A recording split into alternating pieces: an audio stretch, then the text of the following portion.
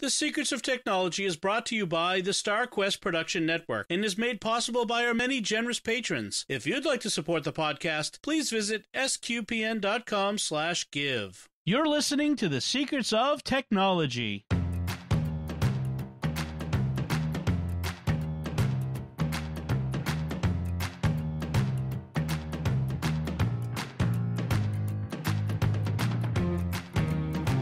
Hi, I'm Dom Bettinelli, and you're listening to The Secrets of Technology, where we discuss the technology news that's important to you from a uniquely Catholic point of view.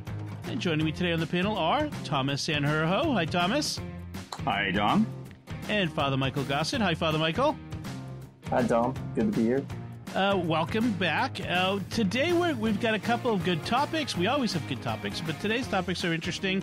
Uh, we, are a little bit uh, back in the newsy sorts of things that we're that we've been ta- uh, from what we've been talking about lately. Uh, I guess as the fall approaches, uh, all the news is percolating up again. Uh, so our first topic has to do with um, one of the big tech companies, one of the FANG companies. You, you know, FANG is Facebook, Apple, Netflix, Google. Uh, so this one has to do with Google. Uh, Google had been in the news the last few years. um, related to its employees' political activities on the job. Uh, the sometimes they uh, Google has a rob- I'm trying to think of the best way to say this.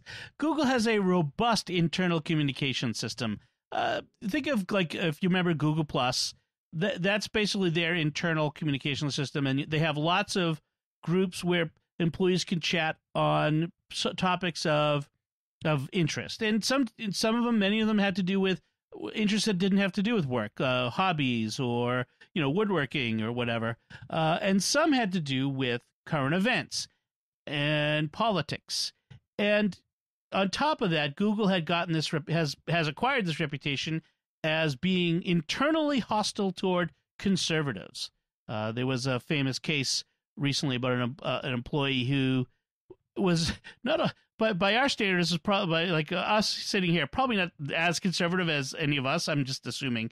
I don't know your politics necessarily but uh but he was not all that conservative but had said some things and got ran out of town by his coworkers.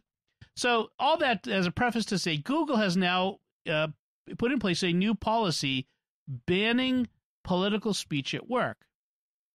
The uh, it basically says no, don't troll, name call, or engage in ad hominem attacks. Be respectful in your comments about and to your fellow Googlers. But it also says um, while sharing information and ideas with colleagues helps build community, disrupting the workday to have a raging debate over politics or the latest news story does not. Our primary responsibility is to do the work we've each been hired to do, not to spend time working working time on debates about non-work topics. All right. So first off, just what do you think of this policy? Do you think it's a good policy for Google or any company to ban uh, uh, many or much of non political discussion at work? Uh, that's stuff that's apart from the job. What do you think, uh, Thomas? I think um, I don't know. This is a tough one. This is one where I would like to see the data on what they're calling political speech. because right. I think when it comes down to it, there's a lot of different things that you can consider political speech. And so, you know, talking about news of the day, um, especially as Google employee, uh, it's going to be an important part of your job. And I would be surprised if there weren't some bias in what they're picking as this is political speech. We need to stop talking about it. Father Michael, what do you think of the policy? Yeah, I was trying to compare it to uh, like any other workplace or just some other job. Um, they're like, yeah, you wouldn't be encouraged to to have debates throughout the day, and like I get the importance of discussion. I think it's probably safe to assume, as you said, that there's a hostility to conservatism, even even on an accidental level, just because of uh, the culture. But uh, I can see the point, like a legitimate point of a policy like this but I think it's also easy to see how it would be used to like who gets to decide what is inappropriate, and once that's there, uh, it can easily be biased. You know, Thomas, one of the interesting things about this is how much of the pushback, how much of the concern comes from people who think it's a crackdown on liberal uh, political speech. Uh, right. But do you think that's what do you think of that? Do you why do you think they they they think it's a crackdown on them? Um, and do you think that's really what's going to happen? Um, I, actually, I do. Honestly, I do right now in the environment that we're in, and um, I, th- I think that I, I, can see from a company's perspective, uh, talking about the news because we have such an incendiary figurehead right now that just mm-hmm. loves to throw firebombs and see where everybody falls on it. Uh, I can see uh, the the massive liberal uh, glom that is Google's uh, hiring base um, just kind of going haywire with it and probably getting a little bit off track on what they're supposed to be doing by ranting and raving about the things that are going on. So this might actually be one of those situations where Google is cracking down on the more liberal speech because there people aren't getting work done. right. And there's probably more like as people say a larger percentage of the workforce probably has more liberal views, so that's more disruptive overall when there's when there's all that talk on it. I mean, t- right. from my point of view, I mean, p- employees will chat about things, you know, over coffee at the water cooler. I mean, that always happens. But in general, it's all every place that I've worked, including at the archdiocese, has sort of frowned on political activism in the workplace. I mean, when I worked for the church, you know, pro there was pro life stuff we did. We actually worked on uh, uh, educating people about an assisted suicide uh, ballot question. So there was a certain amount of politics involved, but you know, campaigning, talking down uh, on an official bulletin board, an in-house system, uh, talking down po- particular politicians or particular points of view, or, or or particular other employees, colleagues. That would be. I don't. I can't think of any place I've ever worked where that would be okay. Yeah. Yeah. Well, totally.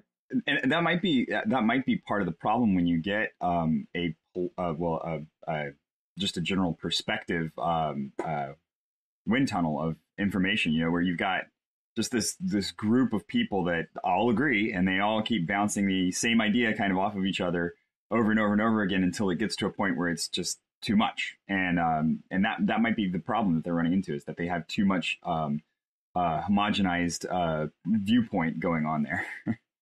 Right. And as we're in an era now where if you think differently, if you have a different viewpoint from me, that's not just merely a difference of opinion. That is uh, an unbreachable divide. That is you you are a hater. You that sort of thing.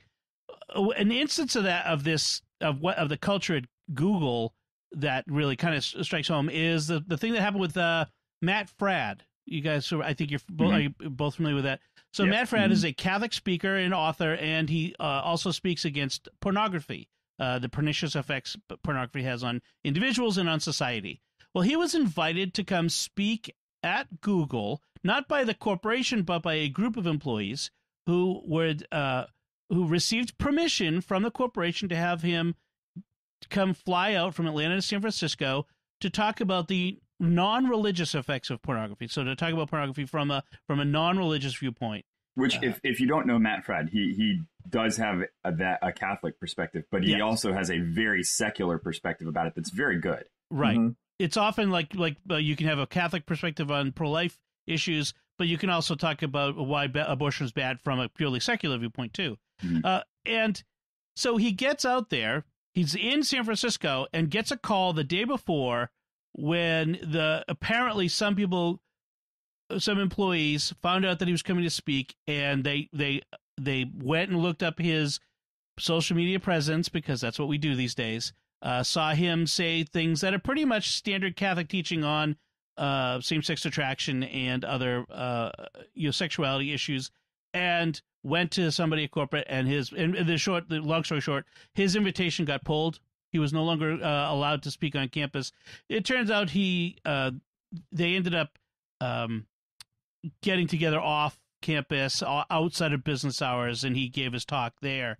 But um, it's uh, it it's a I think it's a illustrative uh, moment to, to kind of talk about like you to show like you know what kind of environment we're talking about, and not just at Google, but at a lot of companies, especially some of these high tech companies uh, mm-hmm. where uh, certain kinds of viewpoints are frowned upon, are really, you know, if if if I mean, to be quite honest, as is if, if I had to go get a job out in the workplace in where I live in the Boston area, I'd be very worried about people googling my past, googling things, my beliefs. You know, I haven't yeah. even necessarily said anything all that uh, controversial, but in, in this day and age, in this environment, it's it's worrisome. That's that's the I think the weird dichotomy that uh, the whole internet culture very much promotes like utter free speech. You can anything can be out there. That's that's what it's for. It's the Wild West.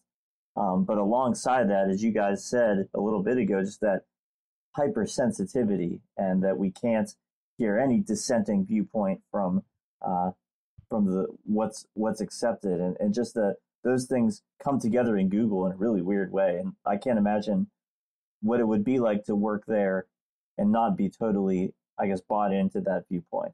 I, I think um, I think the the interesting thing there is that and knowing knowing Matt Fradd's content, knowing uh, some of the stuff that he said and how he says it and the way he approaches things, it really was just an, uh, a hypersensitivity issue. And I know that I'm I know that when, whenever I find something in the church that I that is disagreeable to my uh, you know liberal sensibilities, because I, am probably much more liberal than both of you guys uh, in in my perspective, but um, when when I find something that's that you know just rubs the wrong way, I dig I dig at it and I figure out why it is that the church thinks that way.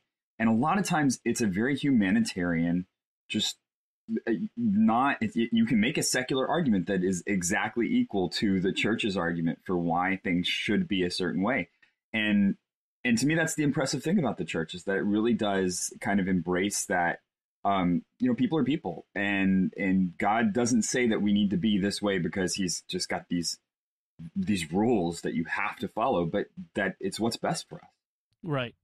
Yeah, we're we're not we don't have as much as the world would like it. We don't have like this religious box that that we have part of put part of ourselves into, and that sits over here on the shelf uh, until we you know are on Sunday.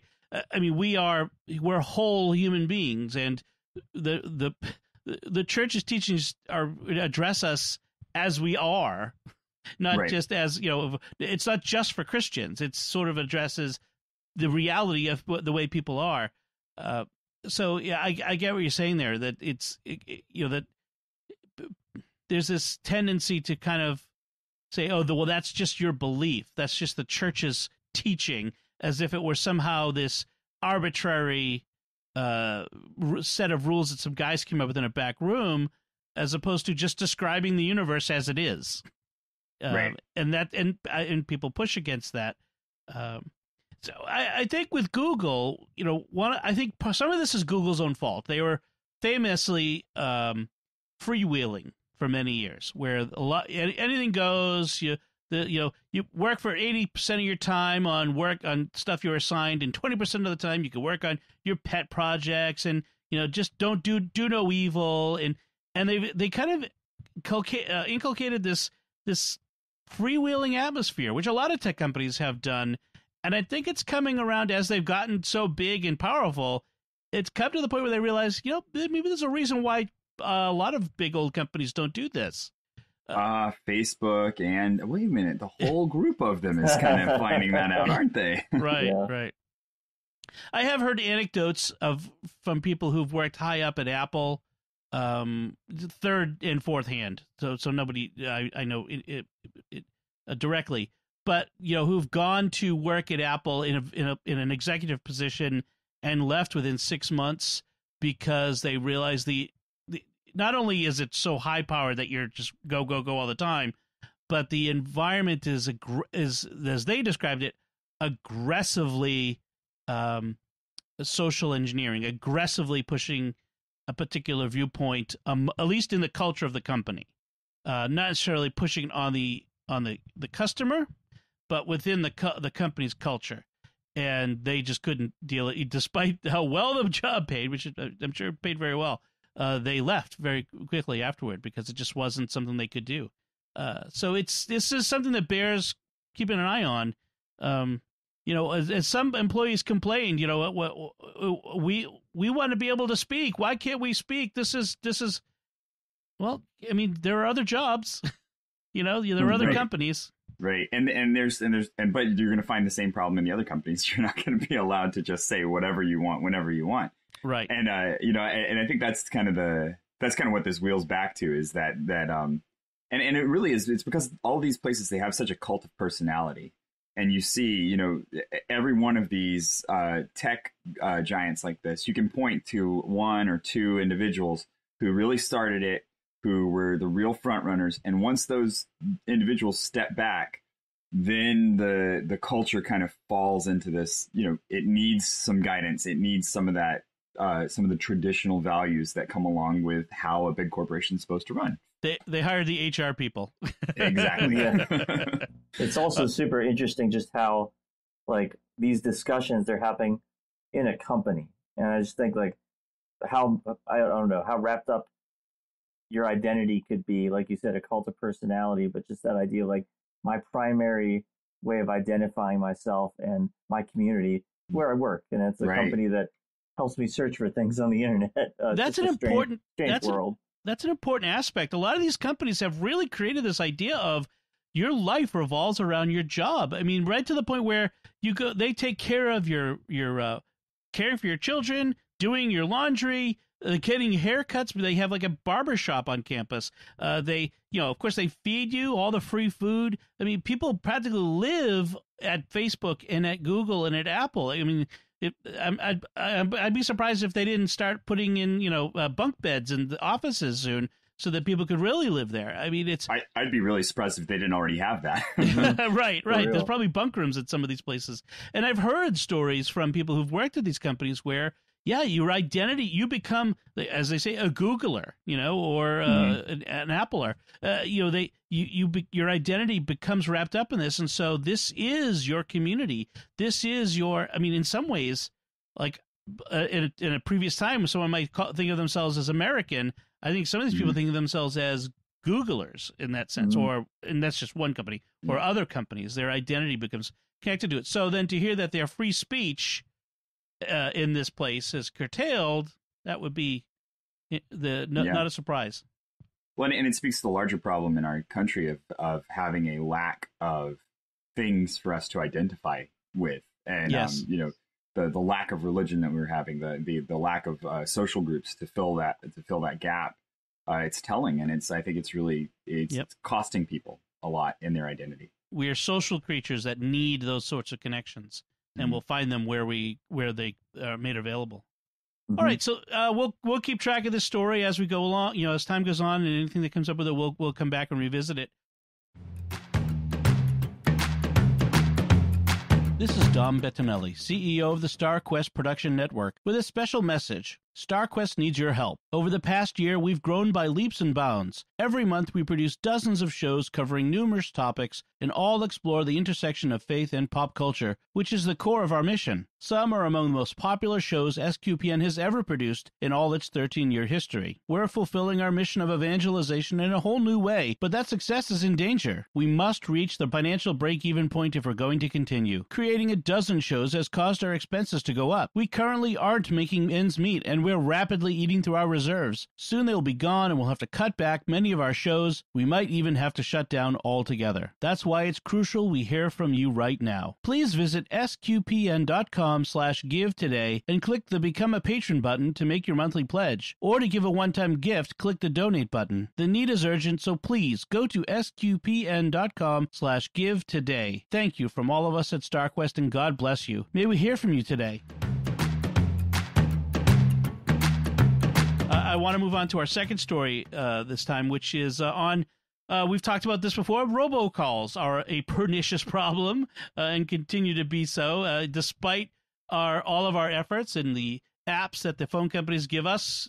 They still get through. I still get robocalls, um, and it's it's a real pain. I usually don't answer uh, calls without caller ID, which which is usually okay, except when I'm expecting a phone call from say like a delivery guy who's going to call me 30 minutes before he shows up and so i have to answer my call and get all these robocalls so uh, but it turns out that um, there's a big deal in the works the all 50 states and the federal government have created this deal this this pact with all the phone companies to combat robocalls. This is, I mean, it doesn't mean it's going to stop tomorrow, but it, what it says is, is that there's a there's a big move ahead. There's a big agreement that we've got to do something about this. It's become too much of a problem, and uh, they're going to provide call, better call blocking uh, and better information for free to all phone users. Uh, you're not going to have to pay extra to get uh, robocall blocking. So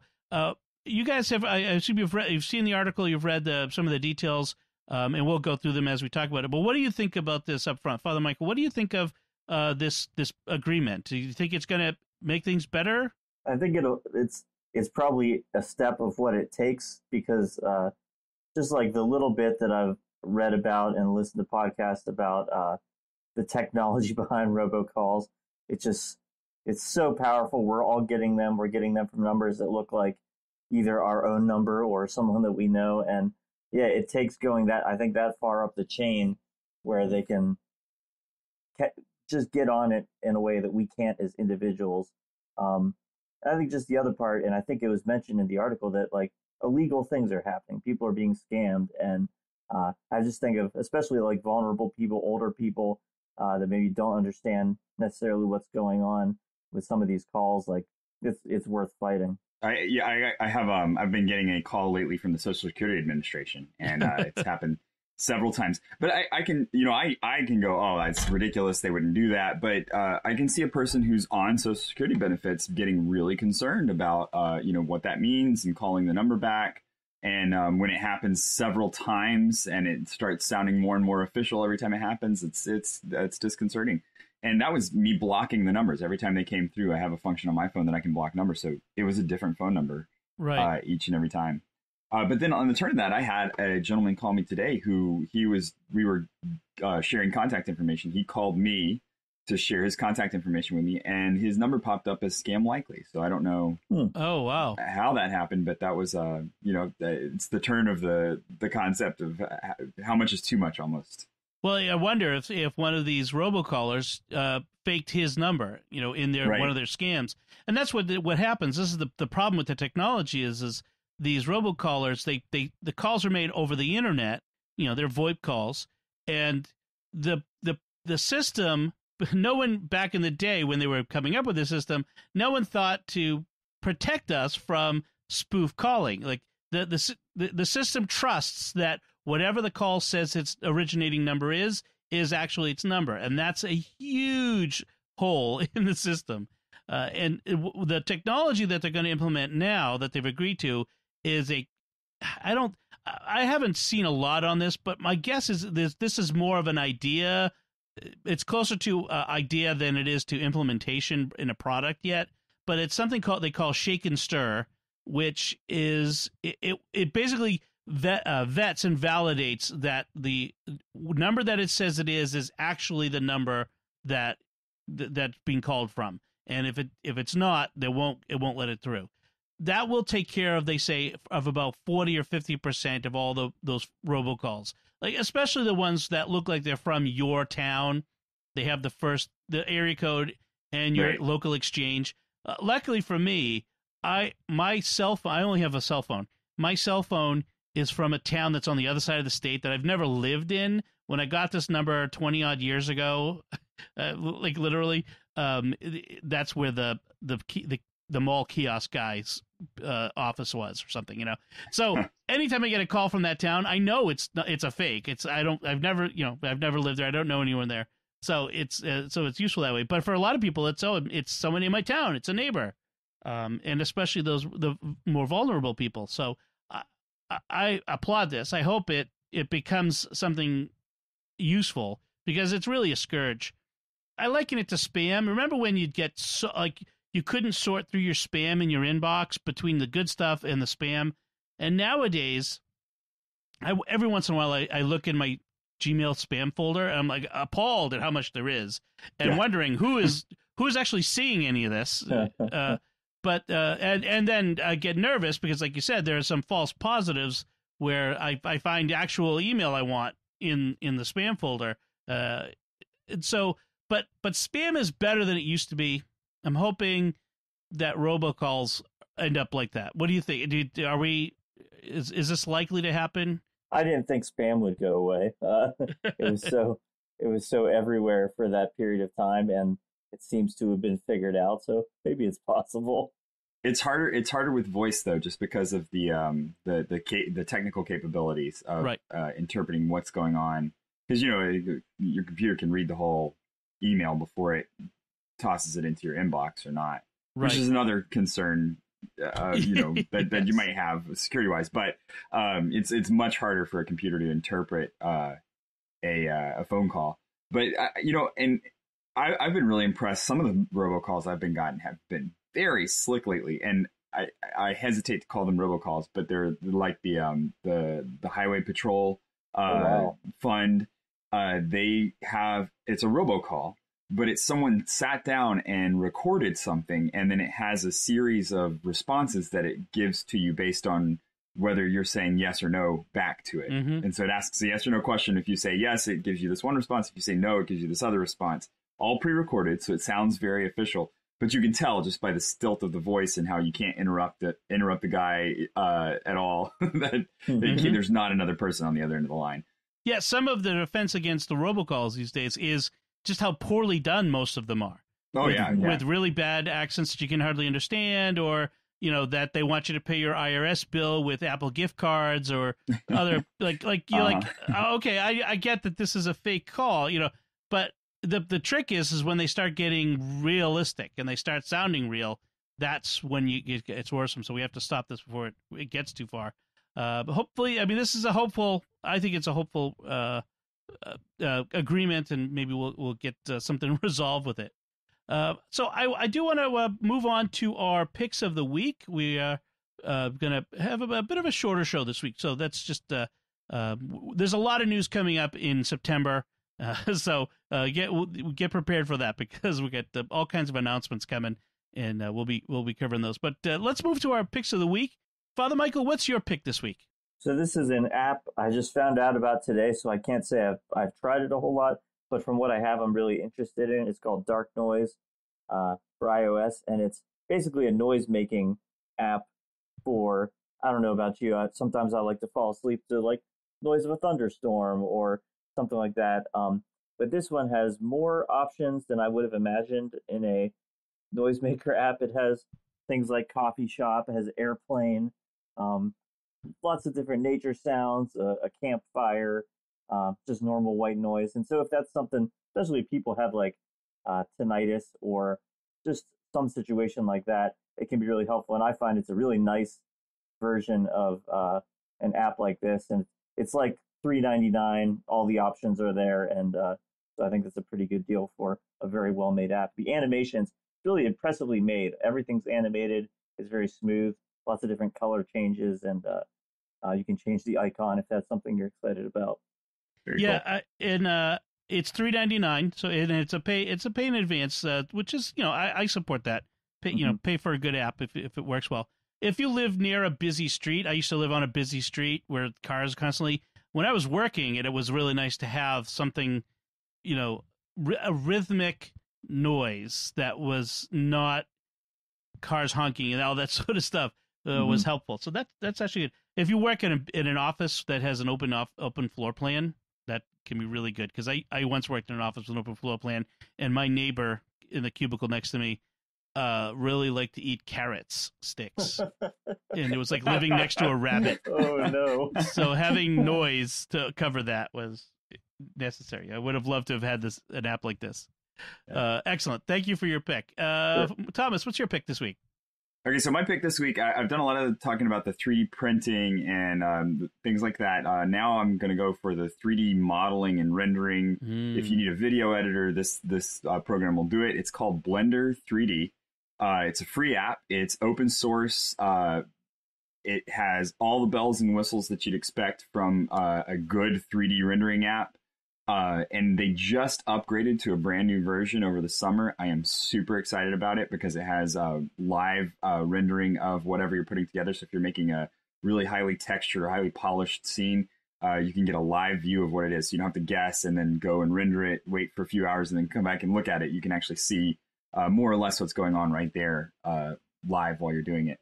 fantastic app, uh, and it, it, does have an integrated video editor and the whole nine yards. It used to have a, uh, a, a game engine in it too, but they took that out in the newer version, and I'm hoping it comes back. I'm hoping it makes it back. Excellent. Th- isn't Blender the one they used to make Big Buck Bunny? The, yes, that's it. That's the one. Yeah, so. Big Buck Bunny was a sort of it, it was really good animation, community source. Like it was hundreds of people all worked on it together, and it looked like something out of Pixar, or DreamWorks, or Disney. You know, it looked really, really well done. My kids loved that. Like like five is five years ago. I mean, yeah. five year old five years ago technology. Uh, like my kids used to love Big Buck Bunny. So, and I remember Blender was was key to that. So, good pick. Good There's pick. one that's less kid friendly. That's called um, Cosmos Laundromat. Uh-huh. And um, it's all done in Blender as well. Uh, and it's about a, a suicidal sheep and guy, but it, it it looks dead on for a Pixar movie. Like you would not be able to distinguish it from a Pixar movie at all. Oh, that's awesome! That's awesome. Cool. Uh, I wish I was an artist. I would love to play with stuff like this. Uh, so my pick this week. So uh, picture this: you're asleep on a Saturday morning, maybe at four thirty in the morning, and suddenly your your smoke alarm goes off in the hall outside your room, and you bolt out of bed and rush out there. There's no fire. It's just a broken smoke detector, uh, and that's that's what I, I mean. Usually, it's the beep every every five minutes. Uh, ah. that's that's actually worse because you don't know which one it is. You have, and you stand under it and you're like waiting for it to beep again. Um, and so I finally uh, that's it. I'm done with that smoke detector. And over the past few years, I've been I've been gradually replacing my smoke detectors as they've gone bad with the Nest Protect smoke detectors. And here's why I think they're better. Uh, one, so one, they will tell you when the battery is going ba- bad. They will alert you with a notification on your phone. This one in the hallway is going, the battery is dying. Not beep, guess where I am? Beep. Oh, not that one. No. It's the worst game of hide and seek. the worst, especially at two o'clock in the morning. Uh, but also uh, when when I, we have a small house, when we cook, and I mean, I and I open the oven because uh, I'm broiling something, and this and the the smell, not even smoke, the smell goes up. It sets off the smoke detector in the hall. And then what we've always had to do is go bring a chair, climb up, take it down, throw it in the bedroom, close the door, you know that whole thing. Well, now you, I can just open the, I can hit the notification on my app and silence the alarm right there. Um, and it tells me which alarm. The other thing is they're all networked, and it will tell me which alarm is going off. So if I get, if then they all go off. So if there's a, you know, God forbid that there's a fire in my office on the other side of the house from our bedrooms in the middle of the night, our smoke detector in our room will go off. So I don't have to wait for the smoke to roll down the hall and for me to hopefully hear the smoke detector in the office uh, going off. So uh, all those things, you know, and there are other products out there that are like it that are networked and have an app and the but the Nest has always worked well for me, and we have the Nest uh, thermostat as well. I've had that for years, and so the, the, it's always been a good product. So that's that's my pick of the week is the Nest Protect uh, smoke and carbon monoxide alarm. All right, so those are some good picks. Uh, we will have links to the picks and to all of the stuff we talked about in the show notes. Uh, before we finish up, I do want to thank our patrons who make it possible for us to create the secrets of technology, including Patrick S., Robert B., Peter H., Joshua R., and Don C. Their generous donations at sqpn.com slash give make it possible for us to continue the secrets of technology and all the shows at StarQuest, and you can join them by visiting sqpn.com slash give. So if you have uh, anything you'd like to say about what our discussion about Google's speech crackdown on the robocalls, or our picks of the week, or any other technology topic, uh, please let us know by going to sqpn.com slash technology or the SQPN Facebook page at facebook.com slash starquestmedia or send us an email to technology at sqpn.com. Please remember to like the show when you find it on the Facebook or retweet it on Twitter. We were at SQPN and leave us comments on social media. Uh, we love to interact with you there as well. Until next time, Father Michael Gossett, thank you for joining me and sharing the secrets of technology. Thank you. Thomas Sanjurjo, thank you as well. Thanks for having me. And once again, I'm Dom Bettinelli. Thank you for listening to the Secrets of Technology on StarQuest.